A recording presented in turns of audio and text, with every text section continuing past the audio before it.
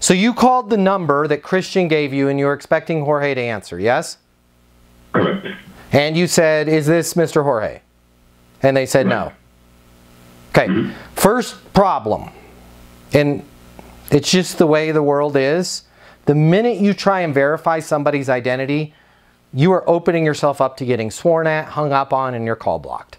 Because that's what every telemarketer, whether it's Mexico, US, Brazil, Italy, Portugal, China, South Korea, North Korea, does. So they verify the identity. Am I speaking to Mr. Jorge? Is this Mr. Jorge? Can I talk to Mr. Jorge? Right? So a more skillful way to have started that is ring, ring, ring, and I'm assuming the person just answered and said hello or hola or whatever. I don't speak Spanish, correct? And so you didn't know who you were talking to. I'm just going to assume it's Jorge, but I'm going to say this.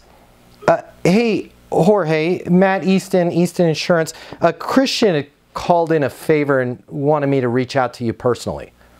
Pause. Full stop. Christian had asked me a favor and wanted to re- so I'm saying who I am. I'm saying my position.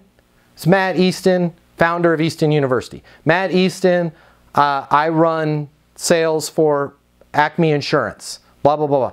Christian, and if you know Christian's your son, his son, was it his son or his nephew? What was it?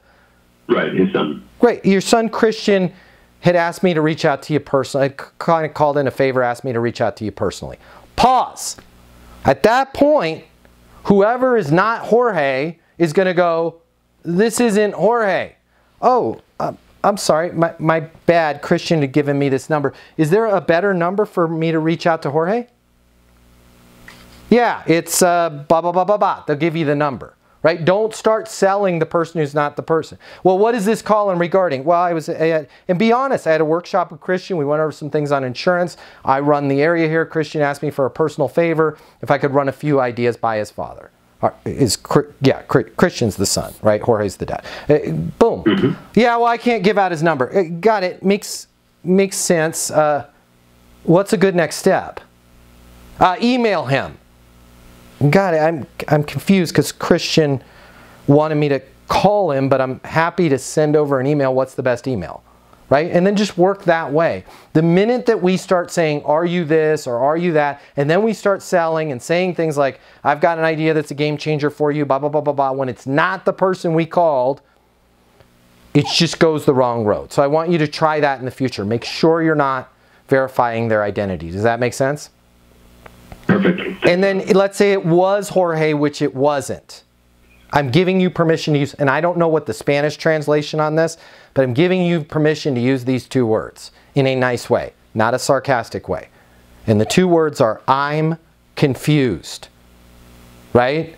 Listen to the difference. Well, if I could just have five minutes of your time and I've got something that's a game changer for your firm, and Christian was at this practice versus Jorge's like, man, I don't want you MFers calling me and blah, blah, blah, blah, blah. You said he used very colorful language. Stop calling me. Let's say it was Jorge, not Christian, right? I want you to just take a step back and go, I'm, I'm, I'm confused because Christian had called in a favor and asked me to reach out to you personally, right? Well, I don't like taking calls like this. Got it. The last thing, it seems like I've offended you here. The last thing I wanted to do is upset you. What's, what's a good next step? And you're going to be shocked how they're like, well, you know, let's just walk through it, Christian. Or if they still go that worse way, right? Got it. What's a good next step on my end? I don't know. Just don't call me anymore. Perfect. I'll reach out to, to Christian. And I'm, I'm again, I'm really sorry I bothered you. But it, could you do me this favor?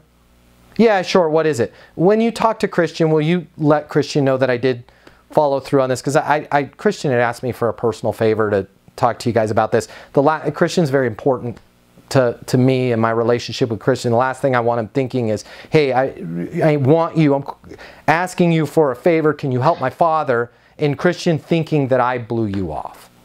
Yeah, sure, no problem. I'll let Christian know.